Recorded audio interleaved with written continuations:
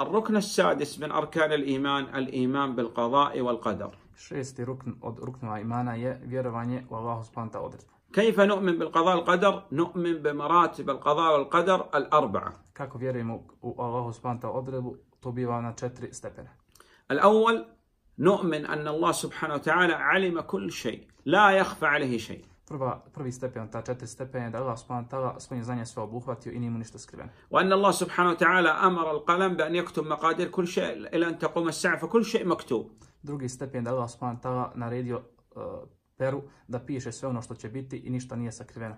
ولا يمكن أن يقع في ملك الله إلا ما شاء الله فما شاء الله كان وما لم يشاء لم يكن يعني أنا الآن مثلا أقول بعد الدرس هذا سأذهب إلى السوق شاء الله أن أذهب إلى السوق ذهبت شاء الله أني لا أذهب إلى السوق والله لا يمكن أن أذهب I nije moguće da u Allahom subhanahu wa ta'ala upravi i njegovom kraljestvu se desi ništa osim ono što on subhanahu wa ta'ala hoće. Pa na primjer, ako ja posle ovog dersa hoću da odem u trgovinu, ako Allah subhanahu wa ta'ala tjedne da ja odem, otiću, ako ne tjedne, neću otići. نعم أعمال العباد مخلوقة كالعباد فالعبد مخلوق وأعماله كذلك مخلوقة Dijela robova su također stvorene kao i robovi sami. ماذا أصنع؟ Šta radimo?